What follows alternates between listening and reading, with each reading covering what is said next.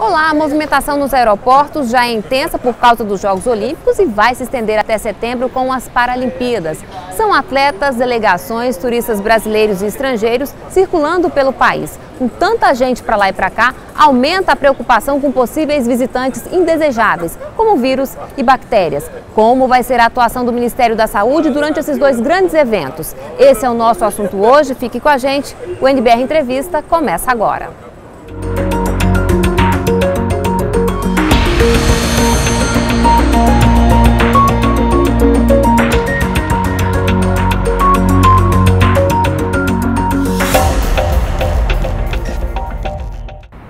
Aqui com a gente, Antônio Nardi, secretário executivo do Ministério da Saúde. Olá, secretário, seja bem-vindo. Muito obrigada pela sua presença. Nós é que agradecemos um momento importante em informarmos a população todo o aparato montado pelo governo federal, estados e municípios para a segurança olímpica e para acompanhar as ocorrências de saúde durante as Olimpíadas e as Paralimpíadas Rio 2016, foi criado um Centro Integrado de Operações Conjuntas. É o que a gente vai conferir na reportagem da TVNBR. No período dos Jogos Olímpicos e Paralímpicos, a saúde vai ganhar atenção especial no Rio de Janeiro e nas cidades que recebem as competições. Foi inaugurado o Centro Integrado de Operações Conjuntas da Saúde, que vai receber ocorrências de atletas, delegações e público, situações de risco, demandas por atendimento, vigilância epidemiológica e sanitária. O monitoramento será 24 horas e envolve uma equipe de 125 profissionais do Ministério da Saúde. Esse centro já foi utilizado para outros eventos, como a Jornada Mundial da Juventude e a Copa do Mundo. A ideia é monitorar situações de risco e tornar as respostas para emergências públicas mais eficazes. O trabalho envolve também as secretarias de saúde municipal, estadual e a Anvisa. A coordenação funcionará no Centro de Operações da Prefeitura do Rio, no centro da cidade. As atividades vão até o fim das Paralimpíadas, no dia 26 de setembro. Esse centro serve justamente para que a vigilância em saúde durante os Jogos seja a mais eficaz possível, que nós possamos estar prontos para o mais rápido possível atender qualquer ocorrência. O ministro da Saúde também lançou a versão olímpica do aplicativo Guardiões da Saúde, uma ferramenta colaborativa de vigilância e monitoramento da saúde pública para ser acessada pelo celular. O usuário se cadastra e informa seu estado de saúde. Assim, será possível mapear a ocorrência de sintomas similares relatados em determinadas localidades. É muito importante que a população faça sua adesão, baixe o aplicativo e mantenha informado sempre o seu estado de saúde para que a nossa vigilância uh, utilize este aplicativo como um, um, instrumento muito eficiente positivo de antecipar os problemas né, antes que eles se tornem é, mais visíveis ao sistema de saúde. O aplicativo está disponível em seis idiomas além do português: inglês, francês, espanhol, russo, árabe e chinês. Ele oferece endereços de unidades de pronto atendimento mais próximas do usuário, telefones úteis, informações sobre vacinas, farmácias e dicas de saúde. Bem, secretário, esse trabalho então já começou. Entrou em funcionamento antes, muito antes das Olimpíadas, inclusive, com os eventos que tiveram teste. Nós também já fizemos os testes da sala de comando e controle. E agora, com o início das Olimpíadas, a sala funcionando a todo vapor, é, 24 horas por dia, mas trabalhando aqui em Brasília, de 8 da manhã às 18 horas e em sistema de plantão em outros horários, integrados com o Rio de Janeiro e com a cidade sede, onde estarão também ocorrendo os Jogos de Futebol. E qual é o foco do Ministério da Saúde ao fazer esse trabalho? O principal foco é dar a segurança e monitorar todos os eventos relacionados à saúde, como traumas, os eventos de vigilância epidemiológica e vigilância sanitária, além das situações de risco em conjunto com o Regulamento Sanitário Internacional. Agora, que tipo de ocorrência, secretário, pode ocorrer num evento da dimensão de uma Olimpíada? Felizmente, o Brasil se preparou para todos os tipos de situação. Essa sala já foi montada em outras ocasiões, como na Copa do Mundo, na Jornada Mundial da Juventude e a própria Força Nacional do SUS também, que se integra a esse trabalho, é, trabalha também em Parintins, é, no Carnaval do Rio de Janeiro e outros eventos de massa é, para monitorarmos todo tipo de risco que pode ocorrer, desde um trauma, de um acidente, de uma queda, como uma diarreia ou algumas doenças exantemáticas, doenças de pele ou doenças respiratórias que têm que ser de notificação obrigatória e monitoradas permanentemente pelos estados, municípios e pelo governo federal. Como é que essa rede de atendimento está organizada? Absolutamente preparada com o município do Rio de Janeiro e o estado do Rio de Janeiro, mas nós temos uma rede hoje onde a Força Nacional do SUS está com um hospital montado no Hospital do Exército, é, junto disso com três tendas de atendimento para poder dar todo o atendimento imediato, além dos leitos de retaguarda. São 235 leitos de retaguarda no Rio de Janeiro, preparados entre públicos e privados para o atendimento aos atletas, à família olímpica e todas essas ocorrências que tenham necessidade de deslocamento externo. Na Vila Olímpica está montada Vênus de atendimento, onde todo e qualquer tipo de atendimento, desde uma simples medição de pressão, é, estará ocorrendo para a população. Qual a expectativa em relação ao número de atendimentos? Né? É muito diferente, por exemplo, de uma Copa do Mundo ou até mesmo da Jornada Mundial da Juventude? Nós trabalhamos com percentuais de atendimento e a média de atendimento é de 1 a 2% do público total. Então, num público estimado, nós estamos estimando a média de 20 a 22 mil atendimentos globais, desses 700 mais ou menos com deslocamento externo com necessidade de internamento ou qualquer outro tipo de ocorrência. Bom, assim como na área da segurança, houve reforço no efetivo, né? na área da saúde também. É, vocês também ganharam novos profissionais para poder dar conta de toda essa demanda. Foi preciso mobilizar mais gente, secretário?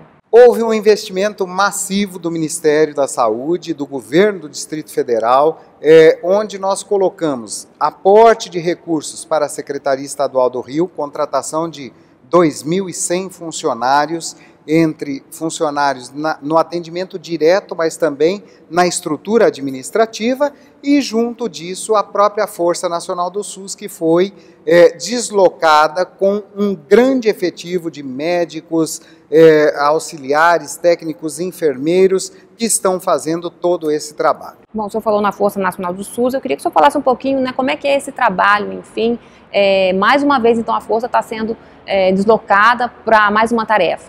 Exatamente, eu acho que esse é o trabalho que pode dar a segurança olímpica que nós estamos colocando.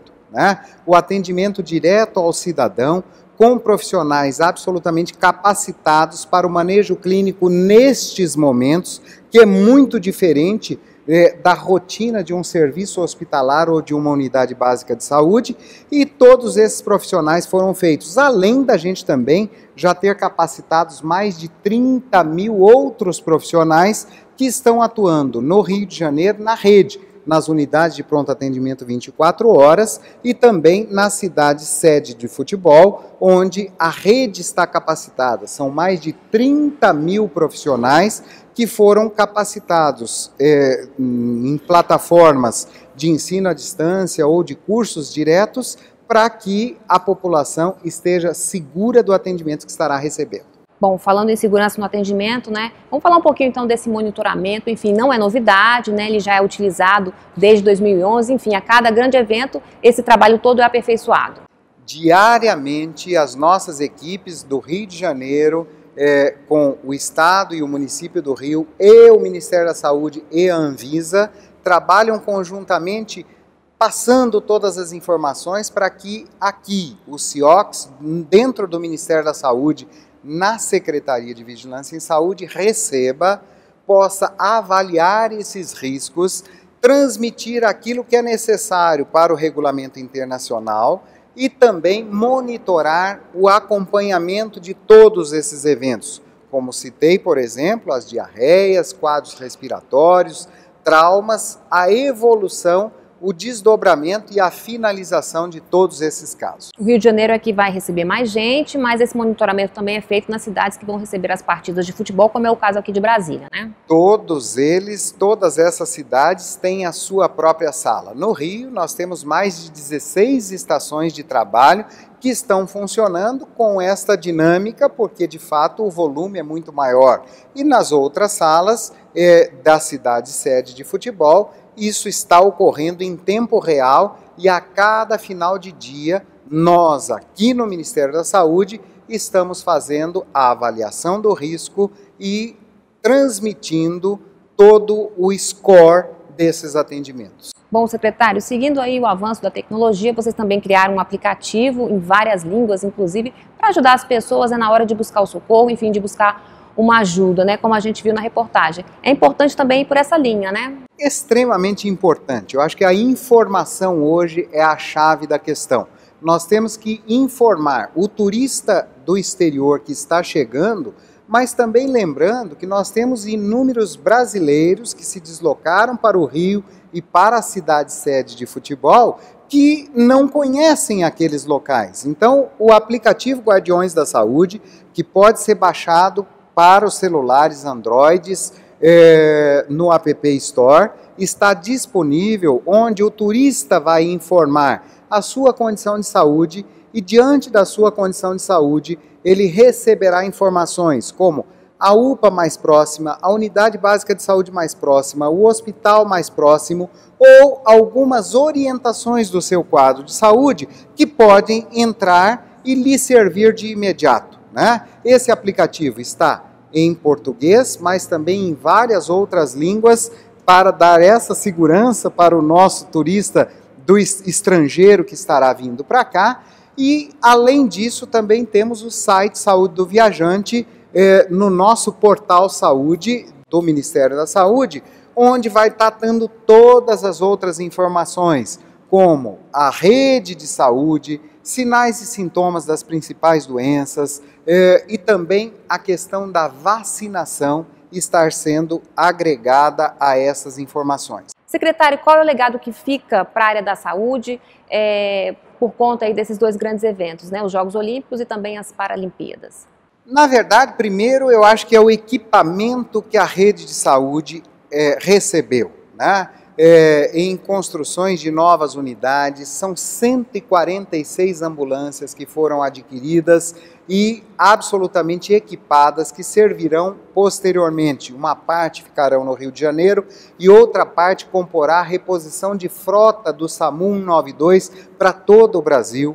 E isso é um legado com esses equipamentos de última geração, equipamentos de ponta, para dar a segurança da população brasileira, além da rede de saúde estar sendo capacitada e ficando cada vez mais treinada e apta para o manejo clínico da população brasileira, a melhoria do atendimento e da oferta de saúde ao cidadão, a melhoria dos nossos profissionais das unidades de pronto atendimento 24 horas que ficarão para o Brasil e todo um aparato que servirá para a próxima Olimpíada que ocorrerá no Japão, nós tivemos na abertura da Casa Brasil o evento de alto nível de alimentação, onde o cônsul do Japão estava presente, recebendo já todas essas informações para poder multiplicar lá na próxima Olimpíada. Tá certo, então daqui a pouco a gente continua a nossa conversa. Vamos agora a uma rápida pausa. Até já!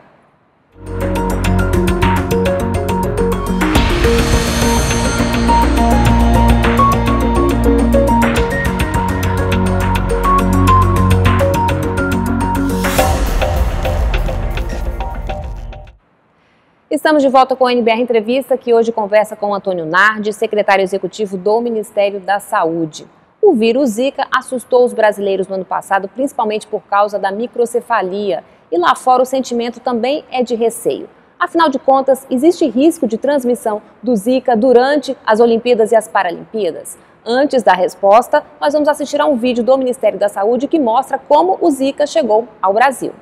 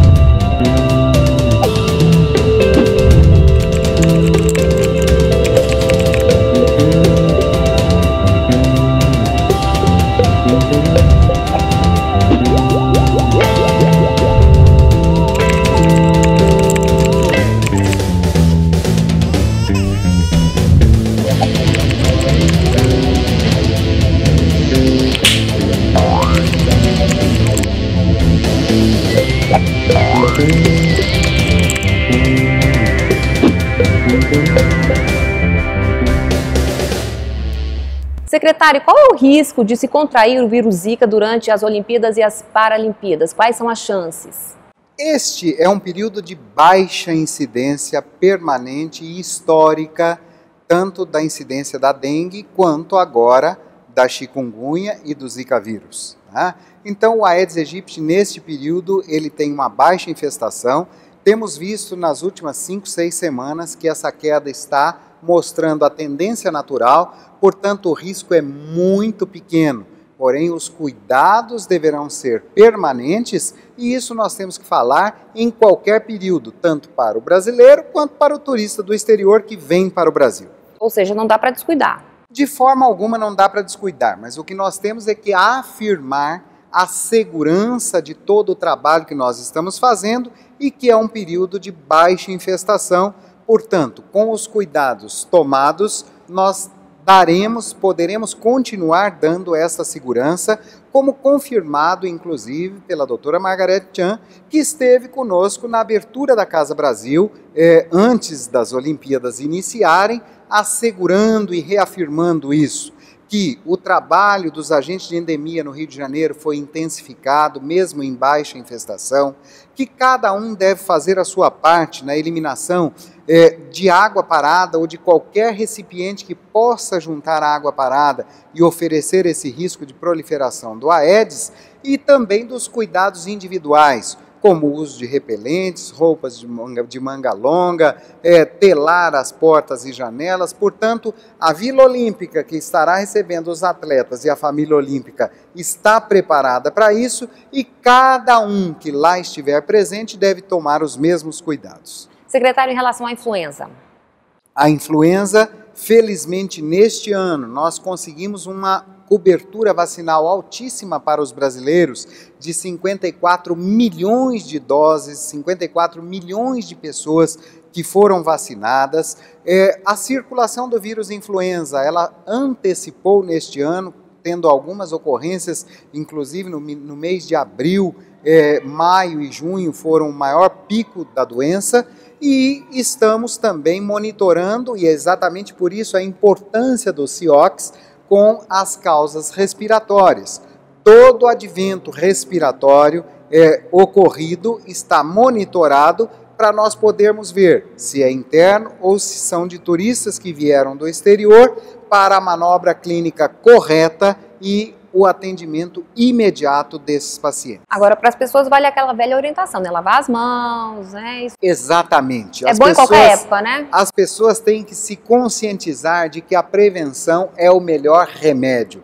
Então, no caso da dengue, é não deixar a água parada, e no caso da influenza e outras doenças, é lavar frequentemente as mãos, não tocar óleo, nariz e boca, ao tossir e espirrar, sempre usar a técnica da manga da camisa ou um lenço. É, deixando as pessoas seguras, abrir as janelas para que o ar corra e não haja concentração é, de problemas ou de pessoas que estejam com um determinado vírus circulante e fique contido nos ambientes, tomar muita água, muito suco de fruta, fumar muito pouco, o que não é bom só para a influenza, é bom para o ser humano, e é isso que nós temos que atribuir, consumir o mínimo de bebidas alcoólicas ou nenhuma, né? E desta maneira estar seguro para enfrentar todas as doenças e não só a gripe ou a influenza. Em relação ao protocolo internacional, o que está previsto?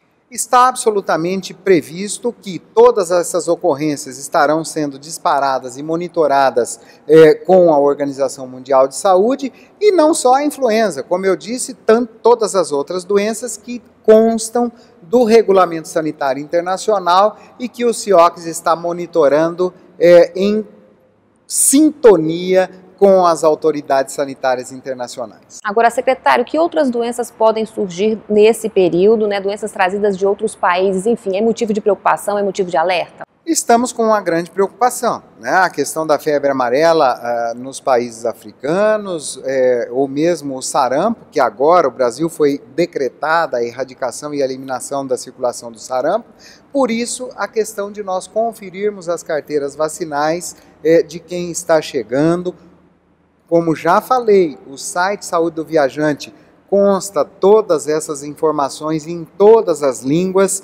Há a orientação para os demais ministérios dos outros países de que orientem a sua população que, ao vir ao Brasil, sigam esses protocolos e todos aqueles que vêm ou os nossos que vão para lá possam, seguindo essas orientações, ter a segurança da prevenção é, vacinal absoluta. Agora, essa vacina tem que ter um período, né, para ela poder fazer efeito, né? Pelo menos 10 dias, de 10 a 15 dias para conferir a imunidade, e é isso que a gente orienta toda a população. Os nossos que vão daqui para fora tomarem antes, estarem com a carteira de vacinação em dia.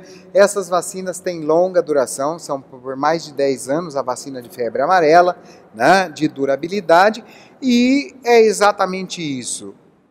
Busque a informação que ela está lá à disposição e você pode ter a tranquilidade e sua segurança. Bom, só falou em sarampo, né? O que mais pode preocupar?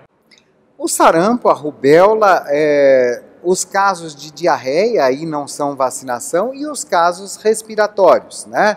É exatamente isso que a gente tem que dar é, esta segurança, mas que as pessoas fiquem atentas. Doenças exantemáticas é, ou doenças de prurido de pele, elas podem dar algumas outras orientações, por isso o aplicativo Guardiões da Saúde também vai lhes orientar com sinais e sintomas de algumas doenças, as nossas unidades de pronto atendimento e as vênues de atendimento na Vila Olímpica. Né? A qualquer sintoma, busque, porque o serviço está lá disponível para lhes atender. Há espaço também para chamar atenção em relação a AIDS e DSTs? há esse espaço na abertura da Casa Brasil. Estamos lá também com o Homem Camisinha, estamos com dispositivos e máquinas de oferta é, para que a população tenha segurança dessa transmissão sexual que pode ocorrer inclusive com o vírus Zika, por isso a, o dispositivo do preservativo de borracha estar à disposição é, de toda a população, dos atletas, da família olímpica, dos usuários é, e frequentadores, torcedores é, desses jogos, não só no Rio, mas também nas cidades do futebol. Secretário, qual é então a mensagem do Ministério da Saúde para as pessoas, enfim, que vão acompanhar, que estão acompanhando aí os Jogos Olímpicos no Rio de Janeiro e em seguida as Paralimpíadas? O governo federal preparou tudo para que nós não tenhamos nenhuma ocorrência negativa durante esse período. Mas cada um de nós também é responsável para que não ocorram nada de grave.